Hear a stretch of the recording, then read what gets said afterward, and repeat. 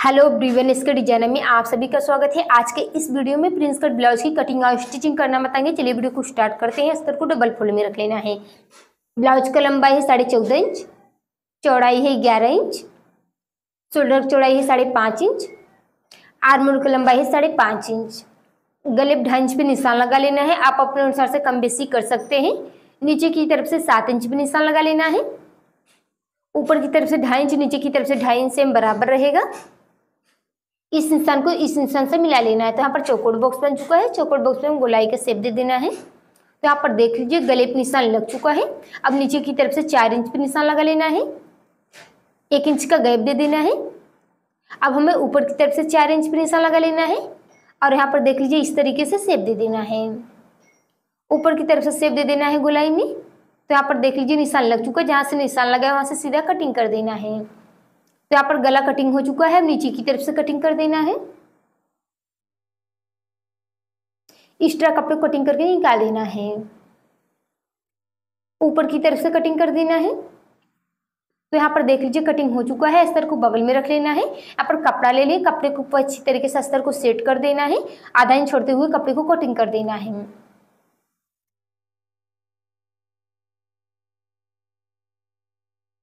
Extra कपड़े cutting करके निकाल देना है। तो यहाँ पर देख लीजिए, दोनों पार्ट एक में है तो इसे कटिंग करके अलग कर देंगे हम। एक ही पार्ट बताएँगे सेम सी तरीके से आपको दूसरा पार्ट बना लेना है।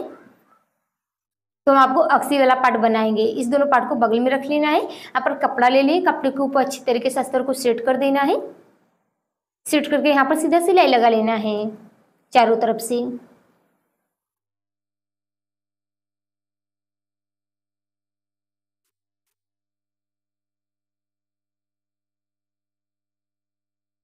तो यहाँ पर सिलाई लग चुका है, इस तरह कपड़े कटिंग करके निकाल देना है। तो यहाँ पर कटिंग हो चुका है। गले पे हमें पाइपिंग लगा लेना है। तो यहाँ पर देख लीजिए, हमारे साड़ी में मैच खा रहा है तो कॉफ़ी कलर का हम यहाँ पर पाइपिंग लगाएँगे। आपके साड़ी या ब्लाउज में जो मैच खा वो आप लगा सकते हैं। तो यहाँ पर देख लीजिए, सिलाई लग चुका है, धागे कटिंग कर देना है, गले छोटे छोटे कट लगा लेना है।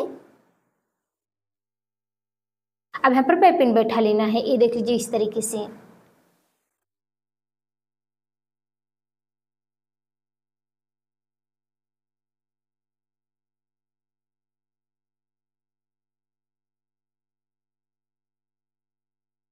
यहाँ पर देख लीजिए पाइपिंग बैठ चुका है। एक्स्ट्रा धागे कटिंग करके निकाल देना है।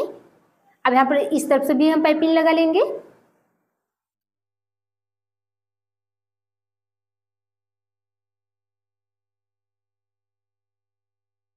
कटिंग हो चुका है। एक्स्ट्रा कपड़े कटिंग करके निकाल कर छोटे छोटे कट लगा लेना है। और यहाँ पर इस तरह से पाइपिंग बैठा लेना है।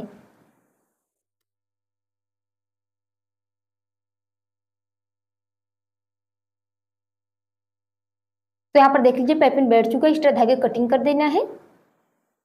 इस पार्ट को बगल में रख लेना है। अब यहाँ पर देख लीजिए, दूसरा पार्ट जो था, उसको अच्छी तरीके से सेट कर लेना है सेट करके अस्तर के चारों तरफ़ से सिलाई लगा लेना है। तो यहाँ पर देख लीजिए, चारों तरफ़ से नहीं लगाना है इसके लिए सॉरी और यहाँ पर देख लीजिए, यहाँ तक सिलाई लगाना है, धागे को कटिंग कर देना है तरह कपड़े कटिंग करके निकाल देना है। यहाँ पर छोटे छोटे कट लगा लेना है, क्योंकि इसको पलटना है हमें। तो यहाँ पर देख लीजिए, इस तरह से पलटी हो चुका है। अच्छी तरीके से सेट करके सिलाई लगा लेना है।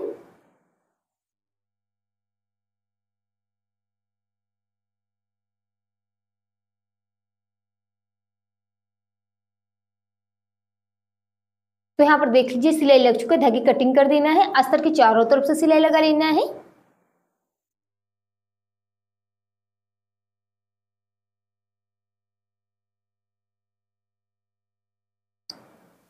तो यहाँ पर देख लीजिए, सिलाई लग चुका है, धागे कटिंग कर देना है इस कपड़े कटिंग करके निकाल देना है।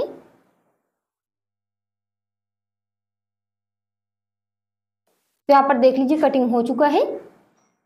अब यहाँ पर अच्छी तरीके से सेट करके ज्वाइंट कर लेना है, ये देख लीजिए इस तरीके से। आधा इंच कपड़ा अंदर की तरफ़ से रहना चाहिए, ऊपर की तरफ़ से पाइपिंग वाला पार्ट रहना चाहिए। तो यहाँ पर देख लीजिए ज्वाइंट हो चुका है, धागे कटिंग कर देना है। तो यहाँ पर देख लीजिए, कटोरी हमारा अच्छी तरीके से परफेक्ट आ चुका है। अब नीचे की तरफ़ से अस्तर ले लिए अस्तर को डबल फोल्ड करते हुए अच्छी तरीके से सेट करके सिलाई लगा लेना है।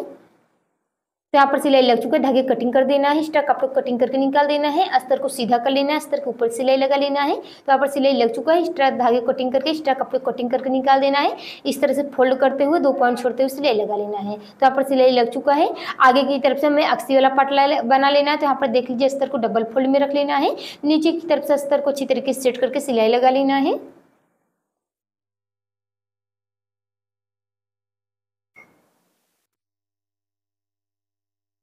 तो यहाँ पर देख लीजिए, सिलाई लग चुका है, धागे कटिंग कर देना है। एक्स्ट्रा कपड़े कटिंग करके निकाल देना है। अब इसको सीधा कर लेना है। ये देख लीजिए इस तरीके से। तो यहाँ पर देख लीजिए, इस तरह से फोल्ड करते हुए हमें पाँच निशान लगा लेना है एक्सिल के लिए। तो यहाँ पर देख लीजिए, एक निशान हमारा बीच में हो चुका है। अब इसके बीच में इस तरह से फोल्ड कर देना है और इस तरीके से लगा लेना है। एक हमारा ऊपर नीचे रहेगा तो पाँच निशान हो चुका है। अब यहाँ पर अच्छी तरीके से सेट करके अक्सी बना लेना है मशीन से। आप मशीन से हुक भी लगा सकते हैं। अगर ये वीडियो हुक वाला अक्सी वाला देखना है, डिटेल में तो हमारे चैनल पे जाइए, वहाँ से आप देख सकते हैं, हम बताए हैं हुक और अक्सी मशीन से लगाना।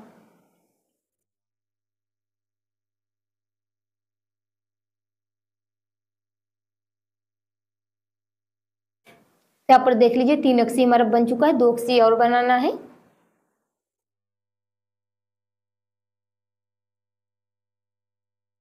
अब ऊपर की तरफ़ से एक्स्ट्रा कपड़े को जो है, अंदर की तरफ़ से ज्वाइंट कर देना है और हमारा लास्ट अक्सी बचा हुआ है।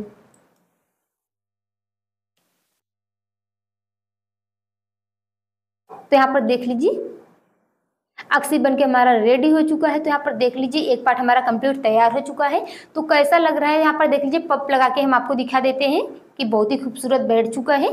पप नहीं लगाएँगे, तब भी आपका बहुत ही खूबसूरत बैठ चुका है। तो यहाँ पर देख लीजिए, हमारा प्रिंस कट कंप्लीट हो चुका है।